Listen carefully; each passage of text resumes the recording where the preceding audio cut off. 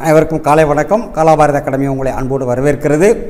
இன்றைக்கி நம்ம அடுத்த ரெண்டு ஸ்டேஜ் பார்க்க போகிறோம் ஃபஸ்ட்டு ஃபைட்டோ ஃப்ளாங்க் ஸ்டேஜ் பார்த்தோம். இப்போ சப்மர்ஜ்டு அண்டு ஃப்ரீ ஃப்ளோட்டிங் இந்த ரெண்டு ஸ்டேஜை வந்து இந்த டிஸ்கஷனில் பார்க்க போகிறோம் இந்த ஹைட்ரோசிரியில் ஓகே சப்மர்ஜ்டு பிளான் ஸ்டேஜில் decomposition of the planktons previous ஸ்டேஜில் இருந்த பிளாங்டன்ஸ் அண்ட் ஜூ பிளாங்டன்ஸ் எல்லாம் ஃபைட்டோ பிளாங்டன்ஸ் எல்லாம்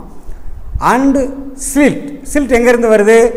From the land by rain water மழை பெஞ்ச உடனே லேண்டில் இருக்கிற சாயில் அரிச்சு கொண்டு வந்து உள்ளே மூடுது. Lead to loose mud formation at the bottom okay now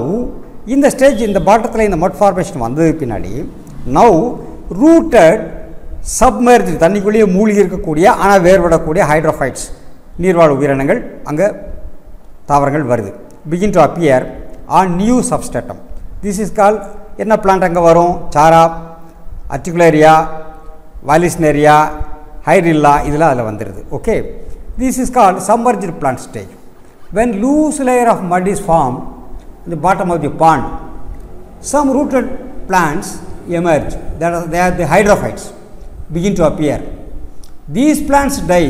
their remains are deposited at the bottom of the ponds or lakes the eroded soil particles and other transported materials because of the rain uh, wind எல்லாம் also are deposited at the pond and it goes settle at the bottom this gradually raises the base of the ponds so ஒரு பாண்டுடைய ஆழம் கொஞ்சம் கொஞ்சமாக குறைஞ்சிக்கிட்டே வருது as this progresses the body of the water becomes more and more shallow அப்போ தண்ணியுடைய holding capacity கொஞ்சம் கொஞ்சமாக அந்த பாண்டில் குறைஞ்சிட்டே போய் தண்ணியுடைய அளவு குறைஞ்சிருது subsequently the habitat becomes less suited for the சம்மர்ஜின் vegetation but more favourable for other plants Okay இதனோட கண்டிஷன் மாறி போச்சு then come submerged free floating stage இங்கே பாண்டோடைய ஆழம் depth of the pond becomes almost two to five feet ரெண்டுலேருந்து அஞ்சு ஆழத்துக்குள்ளே தான் இருக்குது அந்த மாதிரி ஸ்டேஜ் வந்துருச்சு. ஆழம் அதிகமாக இல்லை. Now rooted hydrophytic plants and with floating large leaves start colonising the pond அங்கே மிகப்பெரிய இலைகளோட வேறுபடக்கூடிய நீர்வாழ் தாவரங்கள் ஹைட்ரோஃபைட்டிக் பிளான்ஸ் வருது. Okay example Nelumbo Nymphaea Trapa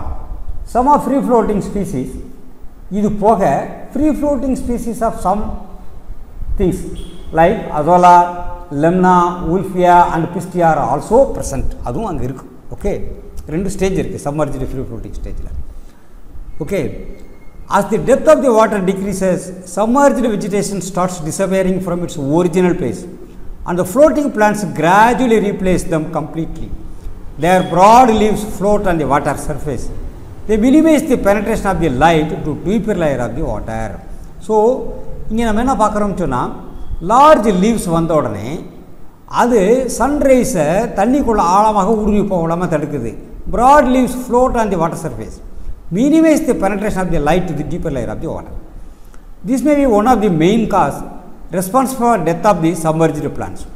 The habitat becomes changed chemically as well as physically. More water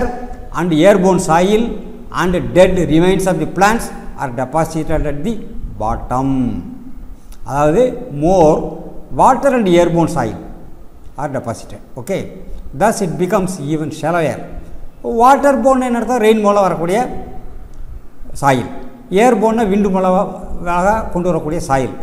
and dead remains of the plants எல்லாமே deposit at the bottom thus it becomes even shallower okay so அடுத்த ரெண்டு ஸ்டேஜை next வீடியோவில் பார்க்கலாம். Thank you